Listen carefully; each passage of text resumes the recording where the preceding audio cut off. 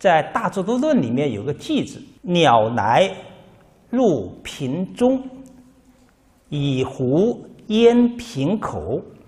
户穿鸟飞去，失神随噎走。”落到一个瓶子，这个瓶呢，就比喻我们的地水火风四大构成的这个身体色身，这就是比喻成一个瓶。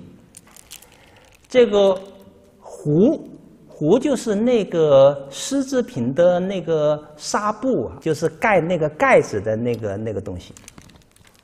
这就比喻成我们的命根。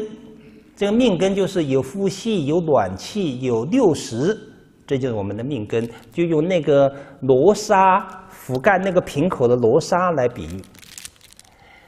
那这个鸟呢，是比喻第七识、第八识，也就是我们讲的神识，或者叫心识。那这个我们头来到这个世界的生命是。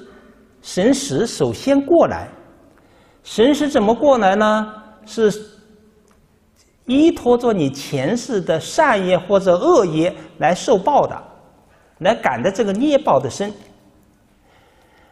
当你这个父母交合，你一下子过来做胎，这就比喻成你的鸟啊，像鸟缺一样的落到这个瓶子里面了。呃，落到瓶子里面，你为被这个善恶业所系住了、系缚住了，就等于用那个罗罗纱把这个瓶口给它啊盖住了、掩盖住了。所以我们的神识在这个身体里面，就类似于我们的鸟啊，关在这么一个瓶子里面。啊，那到了临命终时，就是这一期的捏报生，你活多少年？啊，寿命到了，神识就都要离开身体。投生的时候，神识先来；死亡的时候，是神识最后走。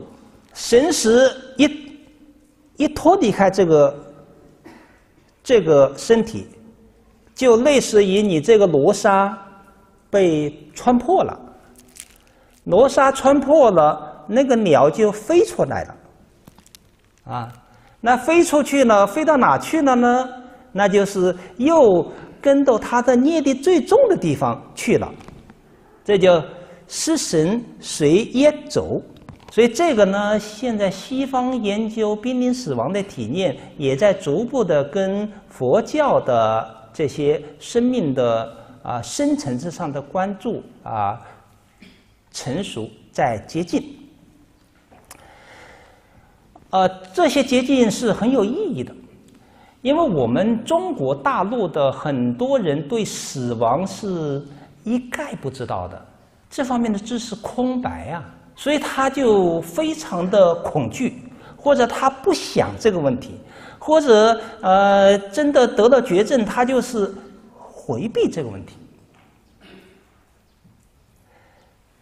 但你回避恐惧还是在里面呐，你不能认识死亡的本质。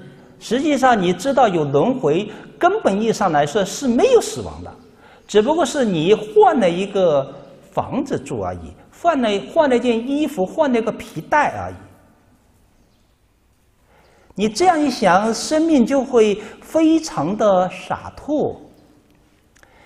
那这个神识随孽走啊，那我们就知道最好的孽，既不是。恶业也不是善业，这都是轮回之业。我们在心理上都要拒绝。现在就是要以因重心专修念佛法门，修这个净业。这个净业在临命中是强，心重业强，命中就一定能生净土。